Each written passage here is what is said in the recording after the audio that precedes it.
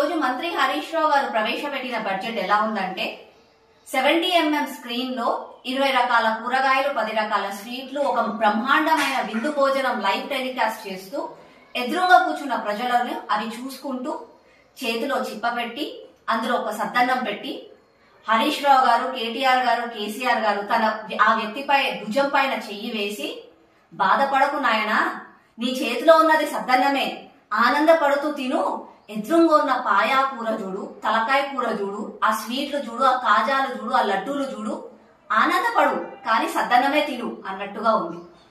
హరీష్ రావు గారు అసలు మీరు ప్రవేశపెట్టింది తెలంగాణ రాష్ట్ర బడ్జెటా? లేదంటే కేసీఆర్ గారి భజననా? కేవలం నరేంద్ర మోడీ గారిని కేంద్ర ప్రభుత్వాన్ని విషం చిమ్మటమే పనిగా పెట్టుకున్న సభలాగా ఉంది.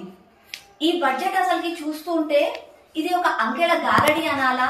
లేదంటే అబద్ధాల మూట అనాలా అర్థం అవ్వట్లేదు.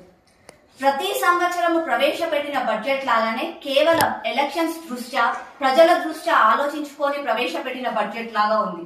మీరు ప్రవేశపెట్టిన బడ్జెట్ ఎలా ఉందంటే పట్టపగలే ఆకాశంలో చుక్కలు కనిపిస్తున్నట్టుగా ఉంది.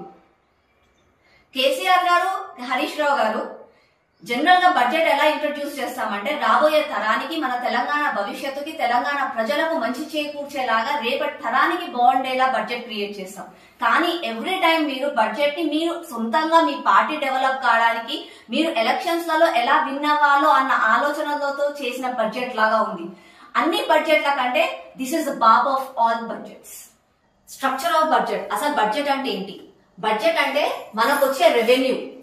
మనము లైక్ ఇప్పుడు ట్యాక్స్ల విధంగా వాటి విధంగా మనకు వచ్చే రెవెన్యూ అలాగే మనం పెట్టే ఖర్చులు మనం రోడ్స్ విషయంలో కానీ కంపెనీస్ విషయంలోనే కానీ శాలరీస్ విషయంలోనే పెట్టే ఖర్చులని ఎక్స్పెండిచర్ అంటాం. ఇప్పుడు ఎక్స్పెండిచర్లో there are two types of expenditure one is revenue expenditure capital expenditure revenue expenditure అంటే there won't be any differences అంటే అసెట్స్లో కానీ లయబిలిటీస్లో కానీ ఎలాంటి చేంజ్ ఉండదు. ఒకటే బ్యాలెన్స్డ్గా ఉంటది దాన్ని రెవెన్యూ ఎక్స్పెండిచర్ అంటాం. అందులో ఏమేమి వస్తాయంటే సాలరీస్ పెన్షన్స్ ఇలాంటివన్నీ ఇందులో వస్తాయి. ఇంకొకటి క్యాపిటల్ ఎక్స్పెండిచర్ క్యాపిటల్ ఎక్స్పెండిచర్లో increase in assets decrease in liabilities assets will be increased liabilities will be decreased ఇది క్యాపిటల్ ఎక్స్పెండిచర్ కాబట్టి capital expenditure is always good కానీ ఈ రోజు హరీష్ రావు గారు ప్రవేశపెట్టిన ఎక్స్పెండిచర్లో బడ్జెట్లో క్యాపిటల్ ఎక్స్పెండిచర్ గురించి అసలు ఏ మాత్రం కాన్సన్ట్రేషన్ లేనట్టుగా అనిపించింది.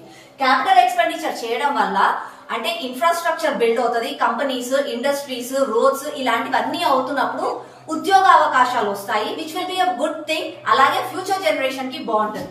రెవెన్యూ ఎక్స్పెండిచర్లో సాలరీస్ ఇస్తాం పెన్షన్స్ ఇస్తాం ఫర్ ఎగ్జాంపుల్ ఇప్పుడు మనం చెప్పుకుంటూ పోతే ఆసరా పెన్షన్స్ అన్నట్టు మన తెలంగాణ రాష్ట్రంలో ఒక అవ్వకి నువ్వు రెండు వేల రూపాయల పెన్షన్స్ ఇస్తున్నావు అంతే. అది విచ్ ఇస్ వెరీ గుడ్ నేను అది ఒప్పుకుంటాను. కానీ దాంతో పాటుగా బ్యాలెన్స్డ్గా అదే కుటుంబంలో ఉన్న ఒక అబ్బాయికి ఉద్యోగ అవకాశాలు కూడా క్రియేట్ చేయడం అన్నది ఒక proper budget which is failing today in Telangana's budget అలాగే హరీష్ రావు గారు పదే పదే చెప్పినట్టుగా నేను ఇన్ని కోట్ల రూపాయలు ఇన్ని సంవత్సరాల నుంచి కేటాయించాను అని చెప్పారు. కానీ ఏ యాంగిల్లో దళిత బంధుకి న్యాయం జరిగింది? ఆసరా పెన్షన్ల విషయానికి వస్తే నాటి విషయంలోనే మూడు వేల వరకు ఇంతవరకు పెన్షన్స్ రాలేదు. అక్కడ అలాగే ఉండిపోయాయి. మళ్ళీ వాళ్ళకి పెన్షన్స్ ఎవరిస్తారు? స్కూల్స్ విషయానికి వస్తే ఎన్ని రోజుల నుంచి మనం చూస్తున్నాము టాయిలెట్స్ లేని స్కూల్స్ సరిగ్గా భోజనం లేని స్కూల్స్. అంటే ఇది కేవలం ఒక అంకల గారడియేనా సెవెంటీ ఎంఎం లో సినిమా చూపించుకుంటూ చూయించుకుంటూ మన చేతిలో చిప్పబెట్టడమేనా వీళ్ళ పరిస్థితి? ఇంకొకటి ఆలోచించండి. మన రాష్ట్రంలో ఈ ఎనిమిది సంవత్సరాల నుంచి కేసీఆర్ గారు చాలా కష్టపడి ఇంప్రూవ్ చేసిన విషయాలు రెండు. చాలా డ్రాస్టికల్గా ఇంప్రూవ్ అయింది. అందులో ఒకటి వచ్చేసి అప్పులు. మన రాష్ట్రం చేసిన అప్పులు. ఇంకొకటి వచ్చేసి లిక్కర్ సేల్స్ ఆల్కహాల్ విషయంలో ఎక్సైజ్ డిపార్ట్మెంట్కి వచ్చిన సేల్స్ ఎంత డ్రాస్టికల్గా ఇంప్రూవ్ అయ్యాయంటే మళ్ళీ వేరే విషయాలలో మాత్రం ఇది కనిపించట్లేదు. తెలంగాణ ప్రజలారా మన ఫ్యూచర్ జనరేషన్ గురించి మన రాష్ట్ర భవిష్యత్తు గురించి ఒక్కసారి ఆలోచించి ఈ రోజు హరీష్ రావు గారు ప్రవేశపెట్టిన గార అంటే అంకెల గారడి అయిన ఈ బడ్జెట్ గురించి ఒక్కసారి ఆలోచించారు